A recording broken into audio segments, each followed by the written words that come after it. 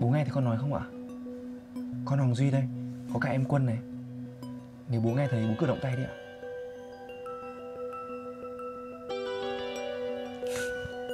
Em ở đây nhá, em có bác sĩ. Bố ơi, con Quân này, con mới về rồi ạ. Bố ơi, bố mau khỏe lại nhá. Bố, bố tỉnh lại rồi. Bố có nhận ra con không ạ? Con Quân đây.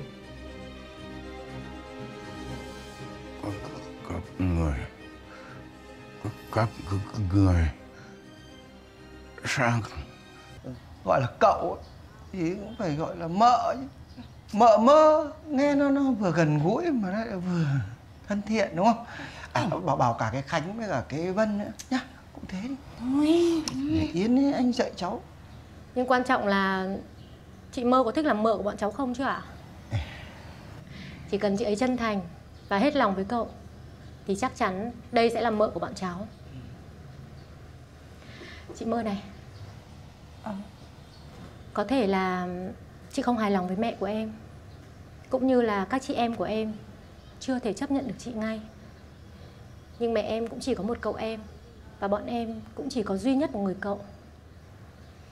Căn nhà này là để chị Khánh dọn ra ở riêng Nhưng chị ý cũng đã nhường cho cậu với cả chị về đây ở Vì sao chị có biết không? Bởi vì cậu Vượng đối với bọn em là một gia đình.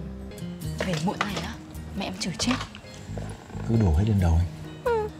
Đổ cho anh á. Mẹ em chửi nhiều hơn ý.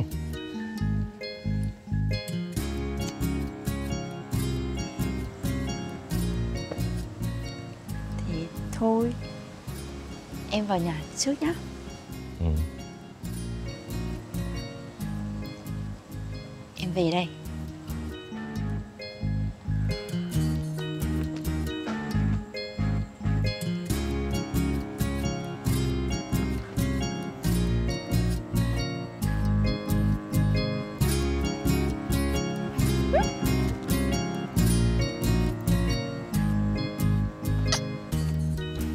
Anh về cẩn thận nhé Anh Phong.